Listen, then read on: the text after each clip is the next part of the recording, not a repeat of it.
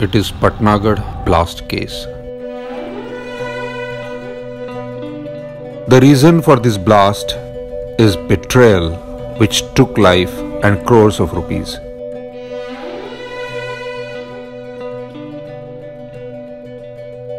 Three men were undertaking the project in Raipur, not two.